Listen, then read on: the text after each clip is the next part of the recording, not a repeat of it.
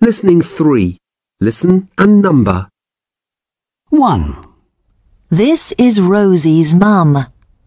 She's got curly hair. It's brown. 2, This is Rosie's dad.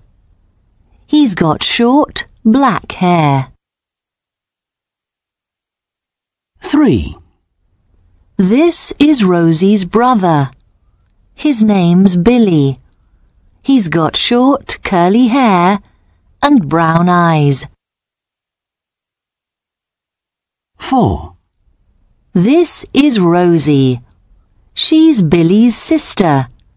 She's got brown hair. It's straight. 5, This is Rosie's grandma. She's got white hair. 6, This is Rosie's grandpa. He's got short white hair. 7, This is Rosie's aunt. She's got brown hair and green eyes. 8, This is Rosie's uncle. He's got black hair and brown eyes. 9, And this is Rosie and Billy's cousin.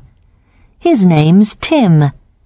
He's got short brown hair and green eyes.